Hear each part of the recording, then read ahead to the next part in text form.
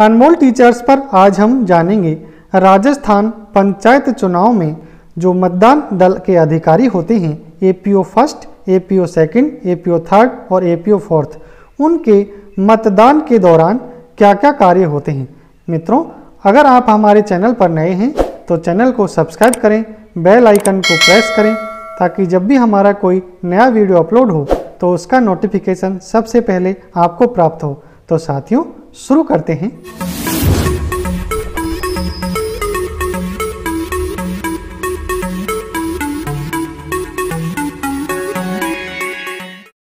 सबसे पहले हम जानते हैं, मतदान अधिकारी प्रथम के क्या क्या कार्य होते हैं।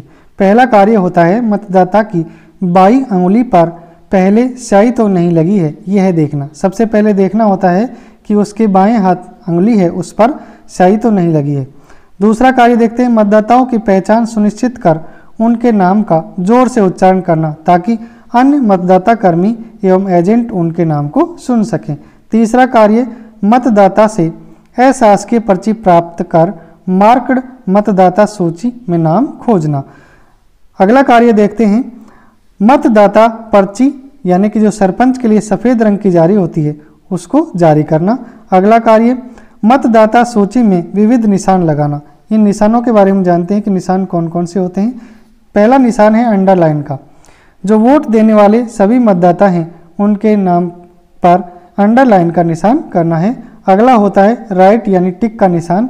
महिला जो मतदाता हैं, उनके यहाँ टिक का निशान इस प्रकार से करना है। अगला है स्टार का चिन्ह। स्टार का चिन्ह लगाते हैं ट्रांसजेंडर मतदाताओं के क्रमांक पर।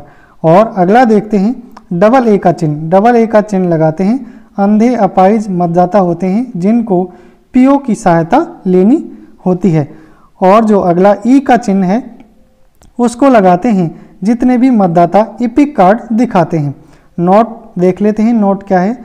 Agent A P O first द्वारा मतदाता की पहचान सुनिश्चित हो जाने पर चैलेंज नहीं कर सकता। यानी कि एक बार अगर पीओ फ़र्स्ट से आगे मतदाता चला जाता है उसकी पहचान सुनिश्चित हो जाती है तो उसके बाद में उसको चैलेंज नहीं किया जा सकता है। अब हम जानते हैं, मतदान अधिकारी द्वितीय के क्या कार्य होते हैं। मतदाता पर्ची, सरपंच के लिए सफ़ेद रंग की देख कर रजिस्टर में प्रविष्टि कर लौटा देगा। यानी कि जो पीओ फ़र्स्ट जिस मतदाता पर्ची को जारी करता है, उसको देखकर रजिस्टर में प्रविष्टि करके वापस मतदाता को लौटानी है। द्वितीय कार्य देखते हैं। मतदाता रजिस्टर प्रारूप बारे में क्रम संख्या मतदाता क्रमांक, कैसे वार्ड नंबर ऑब्लिक मतदाता क्रमांक, मतदाता के पूर्ण हस्ताक्षर, बाएँ अंगूठे का निशान, जो भी हो, एपिक के अतिरिक्त जो अन्य दस्तावेज़ हैं, उसके अंतिम चार अंक भी हमको उसमें लिखने हैं, दर्ज करने हैं। अगला देखते हैं, बाएँ हाथ की तर्जनी पर अमिट स्याही लगाएगा। नोट देख लेते हैं, नोट क्या दिया हुआ है स्याही की सीसी किसी पात्र में, मिट्टी में भरकर दबाकर उसको रखनी है। आगे देखते हैं, सहायक मतदान अधिकारी थर्ड के क्या कार्य होते हैं। पहला कार्य, मतदाता पर्ची सरपंच के लिए जो सफ़ेद रंग की होती है, वो ले लेगा। ये मतदाता पर्ची सुरक्षित रखी जाएगी और लिफाफे में इसको सील भी किया जाएगा।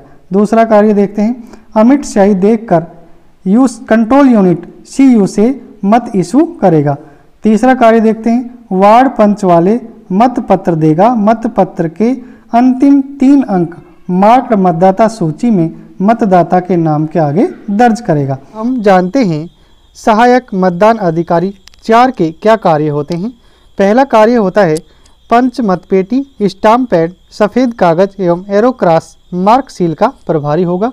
दूसरा कार्य देखते हैं, यह अमित स्याही का निरीक्षण कर पंच मतपत्र पर मत देने हेतु अनुमति देगा। तीसरा कार्य देखते हैं। मतपत्र मत पेटी में डलवाना, यानी कि यही मतपत्र को मत पेटी में डलवाएगा। चौथा कार्य देखते हैं। ध्यान रखना कि मतदाता मतपत्र साथ ने ले जाए। ये सबसे महत्वपूर्ण कार्य है।